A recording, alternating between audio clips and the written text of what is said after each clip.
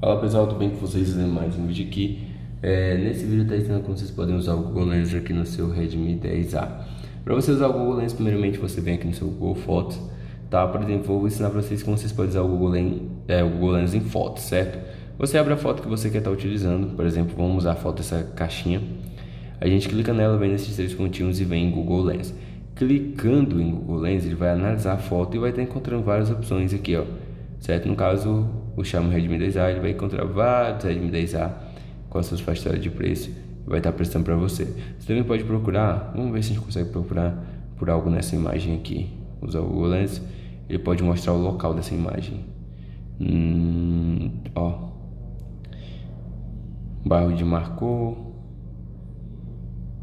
tá vendo? Ele consegue mostrar algumas opções bem interessantes, né? Então é basicamente esse o vídeo. Eu vou deixando ele por aqui. É, não esquece de deixar aquele like. Até o próximo vídeo. Valeu e tchau. É, só lembrando que você pode usar o Google Lens para várias outras opções, como traduzir, é, encontrar locais. Você pode fazer pode usar ele para vários processos aqui no seu aparelho, tá bom? Não só para analisar fotos. É isso. Fui.